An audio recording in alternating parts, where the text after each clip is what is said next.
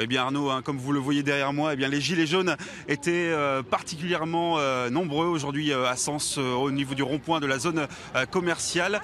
Il y a à peu près 2 à 300 personnes hein, qui se sont réunies aujourd'hui sur, sur ce rond-point et comme vous le voyez, eh bien la circulation parfois est un petit peu ralentie en raison de la présence de, ces, de ces gilets jaunes sur le terrain. Je suis également avec Thibaut, Thibaut qui est le leader de ces gilets jaunes à Sens.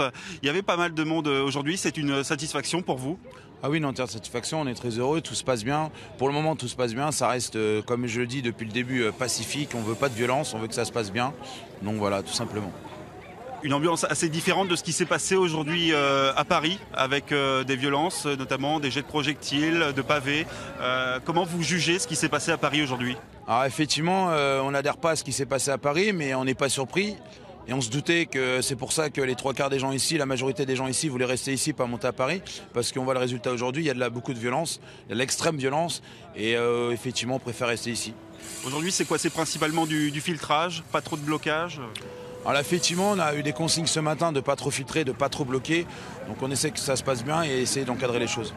Voilà. Donc là, ce qui se passe, c'est que vous bloquez les gens pendant 10 minutes sur le rond-point, les automobilistes, les camions Alors certaines personnes prennent des initiatives d'eux-mêmes et bloquent, euh, ralentissent, mais euh, c'est pas euh, ce qui était prévu, donc voilà.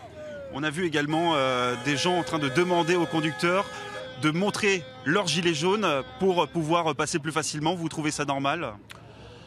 Alors effectivement, euh, non, je trouve pas ça normal, mais en fait, euh, chaque personne prend sa responsabilité. Euh, Il y a des personnes individuelles qui veulent faire ça, il y en a d'autres qui veulent faire ça, donc en fait, chacun fait un peu ce qu'il veut. Ça manque de leader, ça manque d'organisation. Alors effectivement, euh, moi je suis pas vraiment un leader ni un organisateur, on essaie que ça se passe bien, je suis là depuis le début. Tout le monde me connaît ici et j'espère, j'essaye de- d'encadrer un petit peu euh, le mouvement sur sens et que ça se passe dans de bonnes conditions. Aujourd'hui, euh, ce mouvement va se poursuivre, tant qu'on n'aura pas une, une réponse, une solution concrète du gouvernement, ça continuera. c'est-à-dire c'est baisse de taxes, baisse de... Bah effectivement, euh, la taxe carbone euh, et puis le pouvoir d'achat et puis bah mieux vivre quoi. Effectivement. Merci beaucoup euh, Thibaut. Et donc, comme vous l'avez compris, eh bien, ce mouvement devrait se poursuivre ce soir, mais également dans les jours qui viennent.